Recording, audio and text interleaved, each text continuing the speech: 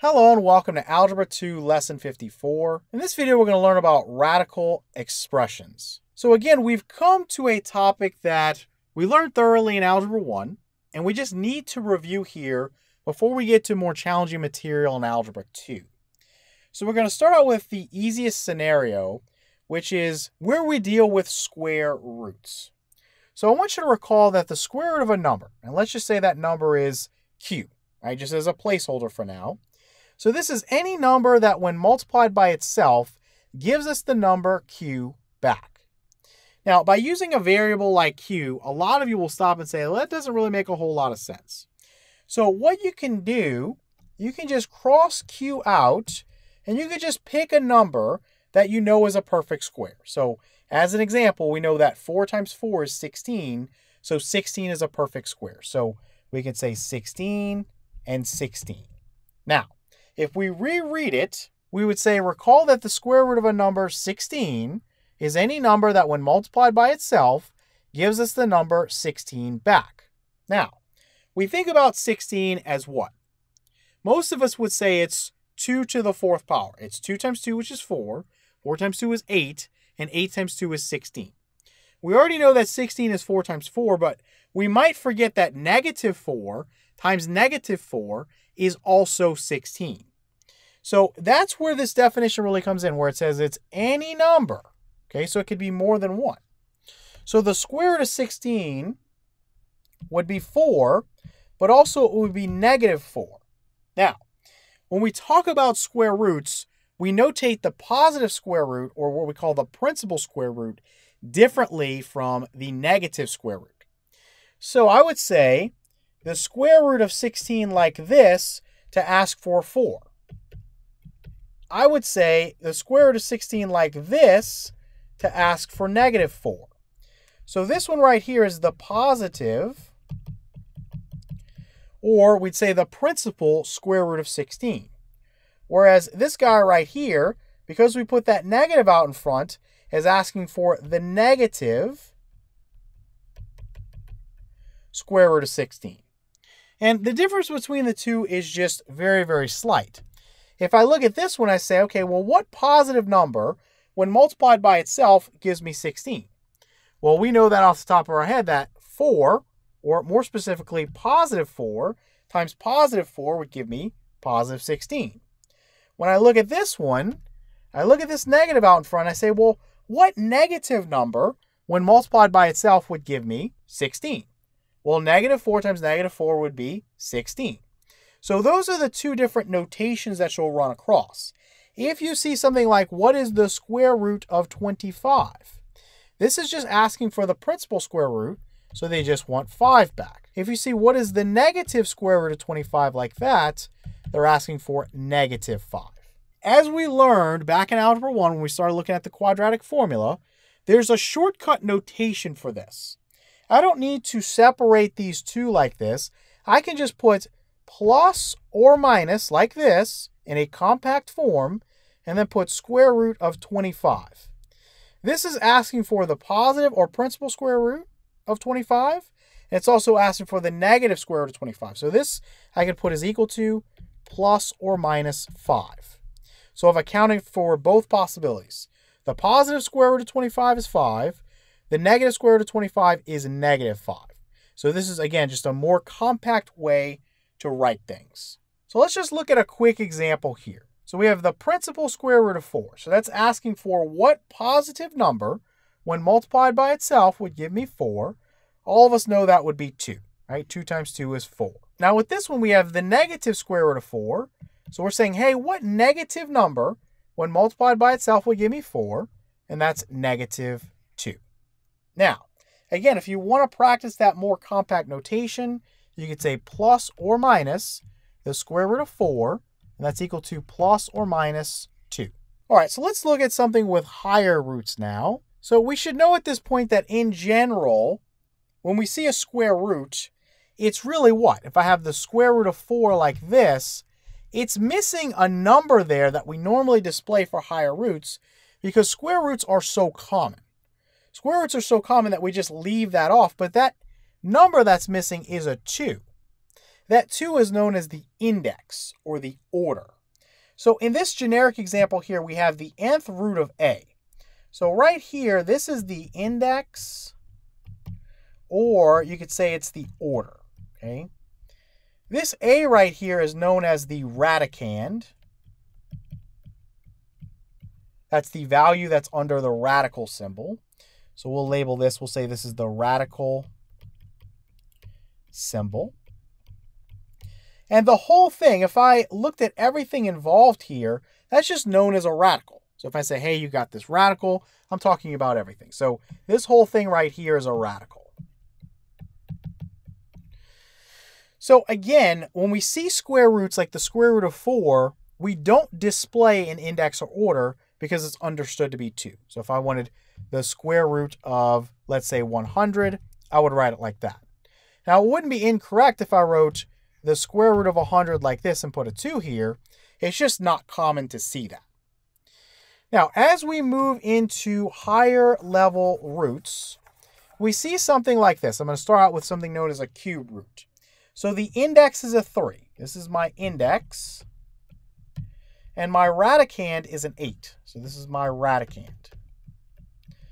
And before we think about this, let's think about the square root for a second. If I want the square root of 4, I'm thinking about what number or numbers, when multiplied by itself, is going to give me 4. Now, the reason I'm doing that is because if I think about the square root of 4, again, this is a 2, so I'm saying, hey, what number multiplied by itself twice is going to give me this value here? When I look at a cube root, now I'm thinking about a number that when multiplied by itself three times, because the index is a 3, is going to give me that radicand back. So with the cube root of 8, with the cube root of 8, again, I'm looking for a number that when multiplied by itself three times would give me 8. Now, for most of you, you would know this is 2, right? 2 times 2 is 4, 4 times 2 is 8, right? So that'd be your answer there. But if you didn't know something like that, you can always go back to your factoring. You can say, I know 8 is what? It's 4 times 2, and I know 4 is 2 times 2. These are all prime factors, so I know it's 2 times 2 times 2 or 2 cubed. So again, the cube root of 8 is 2. Now you'll notice that I didn't give you two sets of notation for this one here. And that's not because it's a higher root, it's because this index is odd. So I want to just cover some rules that you need to know, something you want to definitely jot down. So if you see something like the nth root of a, and I know we don't like working with generic examples, but just something you can substitute in to your given example. You say that you have the nth root of a, n is even. So n is, let's say, 2, or it's 4, or it's 6, or it's 8, or it's 10. Something that's divisible by 2. And then also in this scenario, a is greater than or equal to 0. So basically, a is not a negative value. If this occurs, we're going to have two sets of notation, just like I showed you. So you're going to have the nth root of a, like this, this is your principal root. Then you have the negative of this, so negative nth root of a, this is your negative. Right, that's the negative root. So in that scenario, like if we had, let's say, the square root of 4, for example. Square root of 4 is what? That's 2. That's your principal root. Then you have the negative square root of 4, which is negative 2. But again, it's not just with a square root, it could be a fourth root or an eighth root. Something easy to do, let's say we had the fourth root of 16. So the fourth root of 16, many of you know that 2 to the fourth power is 16. 2 times 2 is 4, 4 times 2 is 8, 8 times 2 is 16. So we know this would be 2. But then you'd also have to account for the negative fourth root, of 16. And this would just be negative 2. Right? If I multiply negative 2 by itself four times, I would get positive 16 as a result. All right, the next scenario I want to talk about, if we have the nth root of a, and n is even, and a is less than 0. So now a is a negative value. So you'll recall this from Algebra 1 where we said we had the square root of, I don't know, let's say negative 16. What happens here? Well, it's not a real number. We're going to learn how to deal with this in Algebra 2. We didn't talk about it in Algebra 1, but we will have a way to evaluate this. using something known as imaginary numbers. But we haven't gotten to that yet, so for right now, we just say that this is not real. This is not a real number. So again, if n is even, so 2, 4, 6, 8, 10, 12, whatever it is, and a is less than 0, a is a negative value, then you're going to write that it's not a real number. So let's say you had the fourth root of, let's say, negative 625. Again, this is even, this is negative, so it's not a real number. All right, the final scenario, if you have n that's odd, okay, so your index is odd, a can be whatever. It can be positive, it can be negative, it can be zero, it can be whatever you want it to be. You're only going to have one root. And the reason for this deals with the rules for positives and negatives. If I multiply a negative by itself an odd number of times, I get a negative. So if I had something like, let's say the cube root of negative 8. So what number, when multiplied by itself three times, gives me negative 8? Well, that's negative 2. Negative 2 times negative 2 is positive 4. Then positive 4 times negative 2 is negative 8. Just keep in mind that you are allowed to have a negative radicand if this guy is odd.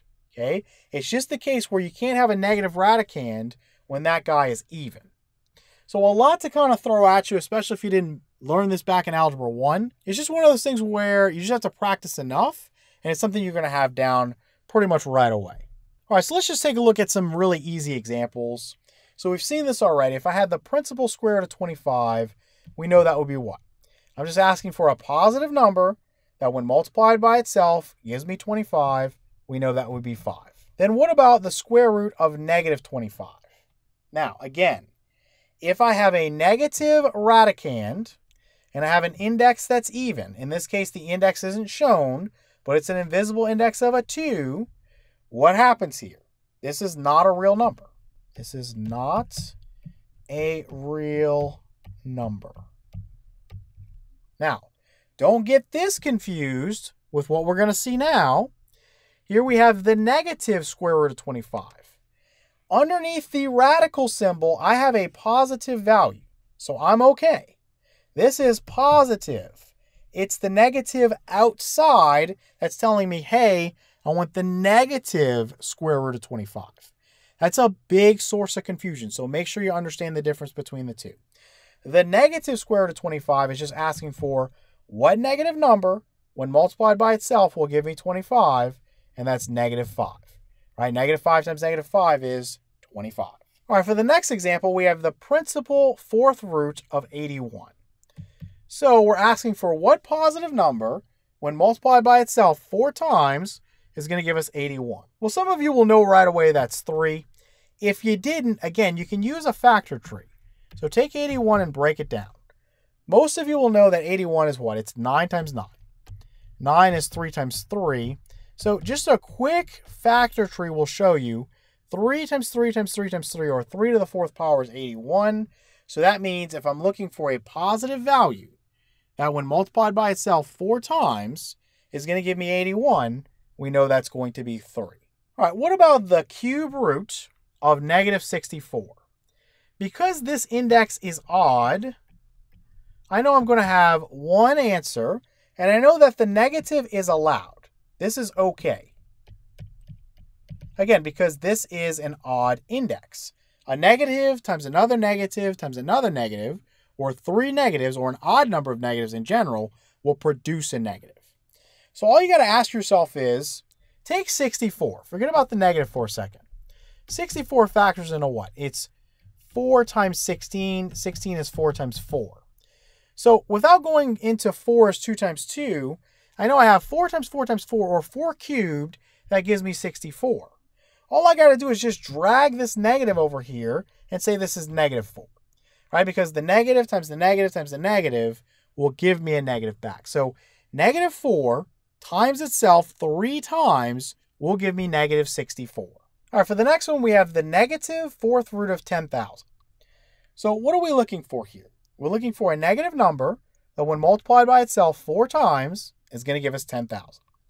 Now, so I'm just going to put a negative out in front because I could just Forget about it now. Now I just think about 10,000. 10,000 is a power of 10, so it's really easy, right? It's a 1 followed by 1, 2, 3, 4 zeros.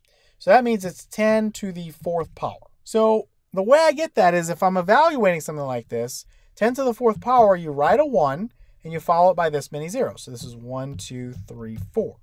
So kind of a cool trick if you don't know that.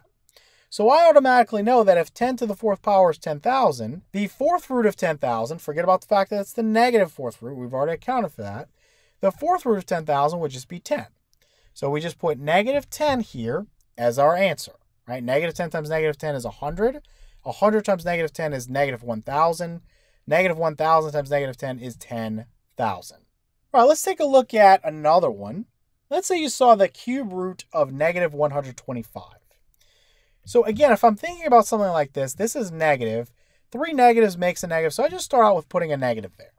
Then you can just forget about it and you can say, okay, well, 125. 125 would factor into what? 25 times 5. 25 is 5 times 5. So 5 cubed would be 125. So what I'm looking for here is negative 5.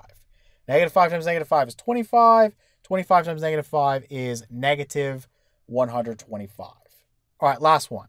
We have the principal fourth root of negative 16. So again, I have a negative radicand and I have an even index. So when that happens, we don't have a real number. This is not a real number.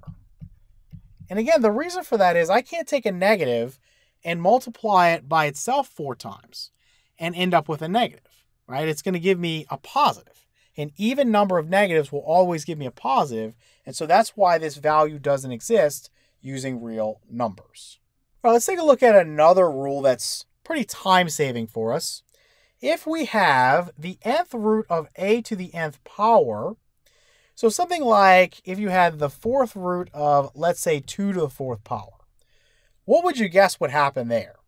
Well, you know from your studies of Algebra 1, or hopefully you remember that this ends up canceling with this, and you're left with this, right? So if n is even, so in other words, if this is even and this is even, they're the same value, and n is greater than 0, so even and greater than 0, then what we're going to find is we have the nth root of a to the n. We'll say this is equal to the absolute value of a. So as an example, let's just say we took something like 5. So we take the sixth root of 5 to the sixth power.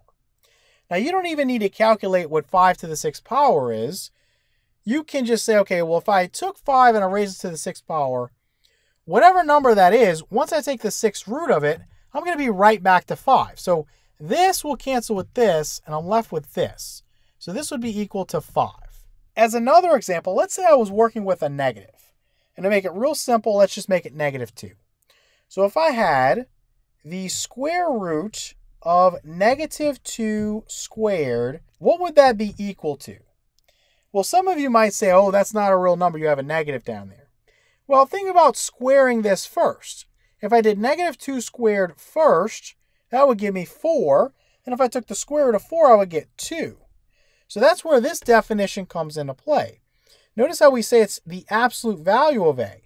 So if we're saying a here is negative 2, well, the absolute value of negative 2 is 2. And that comes from that, again, that squaring operation. Or in this case, it could be anything that's even. So raises them to the fourth power, the sixth power, the eighth power, the tenth power.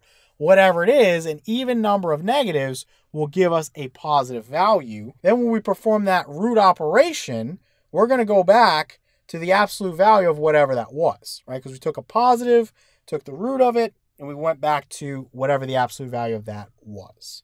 All right, the next one we want to talk about is the other scenario where n is odd. So if n is odd and n is greater than 0, then what's going to happen in this case? So this is odd and it's greater than 0. In this particular scenario, these two will just cancel each other out and you're just left with a. So the only difference is when you have an even involved, you got to say in case you're A, in case this radicand was negative, you've got to account for the possibility that you do an even number of factors of that guy, right, because you're raising it to an even power, it's going to end up being a positive. Then you take the root and knocks it back down to the absolute value of that. So that's all we're saying here. Again, n is even and n is greater than 0. All we're saying is if this guy was negative, an even number of negatives would have made it positive, so you get back to the absolute value of that. In this scenario, because n is odd, an odd number of negative factors would give you a negative, it's okay. So as an example, let's say I had the cubed root of, I don't know, negative 2 cubed. Well, this is just going to be what? This would cancel with this, and I just have negative 2.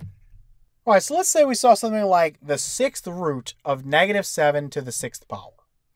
So again, without even going through and saying, okay, well, negative 7 times negative 7, without giving you six factors of negative 7 and then taking the sixth root of that, you automatically know that this would cancel with this, but I'm not left with negative 7. I'm left with the absolute value of negative 7, which is 7 right? So it's a little bit more complicated than just canceling things.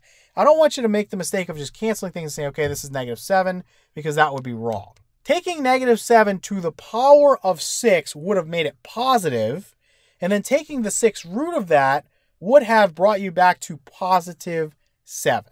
So it's important to realize that this is equal to the absolute value of negative 7, which is 7. So here's an example where we have an odd index. So we have the cube root of negative 9 cubed. So in this case, you can just kind of cancel these and say I'm just left with negative 9. Right, negative 9 to the third power would still give you a negative result. Right, so when I take the cube root of that, it would still be a negative. So when the index is odd, I can just basically cancel these. When the index is even, I want to cancel them, and then I want to use the absolute value here. So that's the only difference you're watching out for. So now that we've kind of reviewed radicals, Let's talk about fractional exponents, or otherwise called rational exponents. So I want you to recall if you have something like a raised to the power of 1 over n, this is equal to or the same as the nth root of a. So as an example, let's say I had 4 to the power of 1 half. Just kind of following this, what would this be? Well, this part right here becomes your index. So this part right here would be the index, an index of 2 is a square root. So we normally don't display that, but for the purposes here, I'm just going to put a 2 here. And then 4 just comes over here. So 4 raised to the 1 half power is like taking the square root of 4. And that should make sense because of the rules for exponents. If I have 4 to the power of 1 half, and I multiply it by 4 to the power of 1 half, what would that give me? Base stays the same. You add your exponents. 1 half plus 1 half is 1. So this is equal to 4. If I did this using this, and I said, okay, well, this is the square root of 4 times the square root of 4, we would expect that to be what? To be 4, right? The square root of 4 is 2. The square root of 4 again is 2. 2 times 2 is 4. So it has to make mathematical sense, and it does. If I wanted something, let's say, as a cube root, okay, a cube root. So let's say I had 8 to the power of 1 third. Well, this would be the cube root of 8. Again, whatever's here in the denominator becomes my index or order, and then just becomes my radicand. So the cube root of 8 is the same as writing 8 to the 1 third power. Or you can take something way more advanced. Let's say we had, I don't know, 620, and let's just raise this to the power of 1 eighth as an example.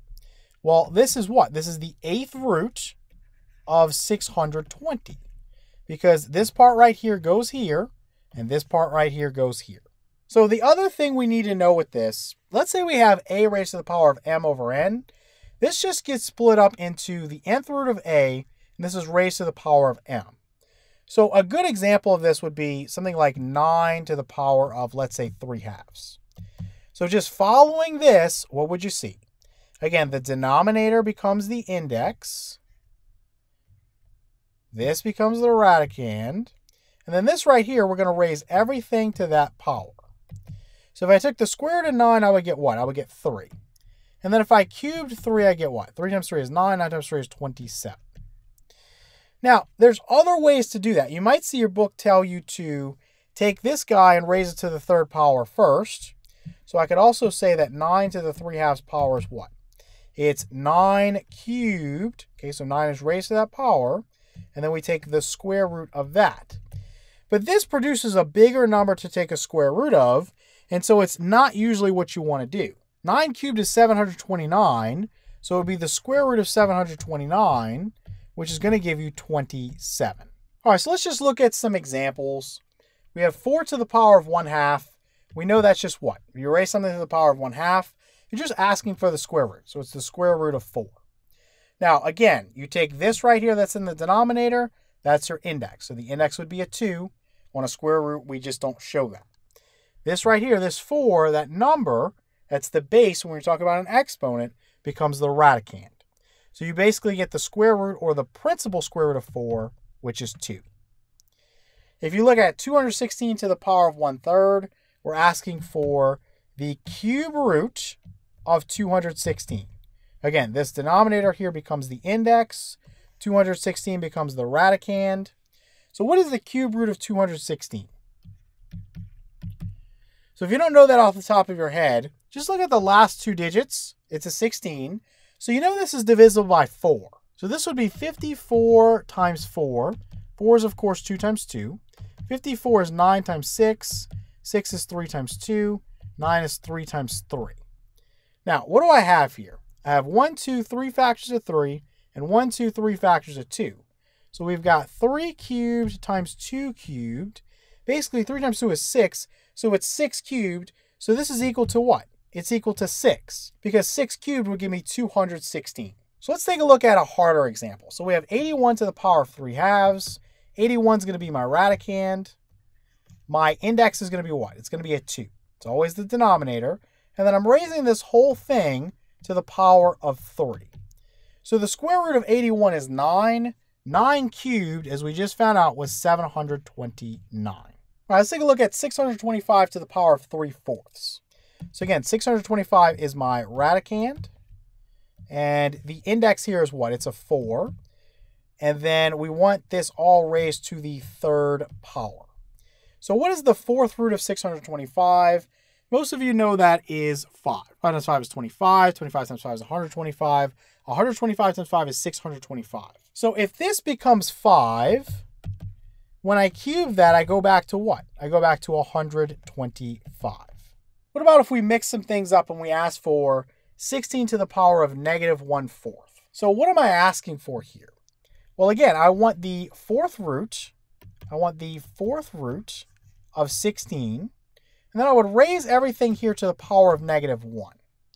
So I can go ahead and take this first. Well, this is 2, so this would be 2 to the power of negative 1, which is what? It's just take the reciprocal of the base, so 1 over 2, raise this to a positive 1, which is basically just 1 half. Now, the other way to do this, if you wanted to, you could say, okay, I have 16 to the power of negative 1 fourth. Well, you could have started out by saying I have 16 raised to the power of negative 1, and then I'm going to take the fourth root of that. Same answer either way. This would be what? This would be the fourth root of, take the reciprocal of this, this is 1 over 16. And it's a little bit more complex here because it's a fraction, but just think about the fourth root of 1 over 16. Well, 1 half times 1 half times 1 half times 1 half is going to give you 1 16th. You know 1 to the fourth power is 1, so that's easy. And then what to the fourth power is 16? Well, that's 2. So you end up with 1 half either way. All right, what about something like negative 32 to the 3 fifths power? Well, again, we're looking at, we have negative 32. And then I'm going to take the fifth root of that. And I'm going to raise the whole thing to the third power. So what's the fifth root of negative 32? That's going to give us negative 2. And we want to cube that. Negative 2 cubed is negative 8. For the next one, we're going to look at 5 raised to the power of 5 thirds over 5 raised to the power of 2 thirds. Now, just as we saw when we worked with exponents in the past, if you have the same base, which we have a base of 5, a base of 5, and you're dividing, you subtract the exponent in the numerator minus the exponent in the denominator. So 5 just stays the same, and we would do 5 thirds minus 2 thirds. Same rules apply. No matter what you're working on, no matter how complex it is, you always go back to those basic rules that you learned. So 5 minus 2 is what? That's 3. So you would have 5 raised to the power of 3 over 3, which is 5 to the power of 1. Right? It's just 5. All right, say we take a look at m squared over m to the power of 1 third times m to the power of 2 thirds times m to the power of 1 third. So again, same rules apply. So m squared over, I'm just going to use my product rule for exponents. m would stay the same, and we would add all these exponents. So we know that 1 third plus 2 thirds is 3 thirds. 3 thirds plus 1 third is 4 thirds. So what would happen here is if I'm dividing, m stays the same, and we would do 2, which is the exponent in the numerator, minus 4 thirds, which is the exponent in the denominator. To get a common denominator, I would write 2 as what? 6 thirds. And we'd end up with m to the power of 6 minus 4 is 2, and then over 3. So you can leave it in this format, or you could write that you have the cube root of m, that's squared, or you could say you have m squared and take the cube root of that. All of these are the same. What about m cubed squared times m squared over m to the power of 1 half? Well, using my power to power rule here, I know this would be m to the sixth power, then times m squared. All I would do is add exponents here, so m would stay the same, 6 plus 2 is 8. So this would basically be m to the eighth power over m to the power of 1 half. So m stays the same, and I would take 8 and I would subtract away a half. So let's write this as 16 over 2 minus 1 over 2. This will equal m to the power of 15 over 2. Again, you could leave it like that, or you could write that you have the square root of m raised to the 15th power, or you could say you have m to the 15th power, and then you could take the square root of that. Right? All of these, this one, this one, and this one, mean the exact same thing. All right, for the last one, we have x squared raised to the 2 thirds power times x to the power of 1 half over x to the power of negative 3 halves. So if I look at this, I use my power to power rule. I would multiply 2 times 2 and get 4, so this would be x to the power of 4 thirds. Then we multiply by x to the power of 1 half. And of course, this is over x to the power of negative 3 halves. So let's put this as equal to, let's deal with the numerator first. So we have what? We have x staying the same, and we're going to add the exponents. So if I add 4 thirds plus 1 half, multiply this by 3 over 3, multiply this by 2 over 2, 2 times 4 is 8, so you'd have what? You'd have 8 over 6 plus 1 times 3 is 3 over 6. 8 plus 3 is 11. So this would be x to the power of 11 sixths. And this is over x to the power of negative 3 halves. Now, I don't need to do anything fancy here other than leave x the same and then just subtract. So I would do 11 sixths minus a negative. Notice that that's a negative and I'm subtracting it away. So that's plus a positive 3 halves. So to get a common denominator, let's multiply this by 3 over 3 and this would be 9 sixths. Okay, 9 sixths. So this would be x to the power of 11 plus 9 is 20 over 6. Now, if you get a scenario like this, you can reduce this. We know that 20 and 6 are each divisible by 2, so we can really say this is 10 over 3. And then what we want to do is say, okay, we have the cube root of x and this is raised to what? The 10th power. Or again, you could also say you have x to the 10th power, and you're taking the cube root of that.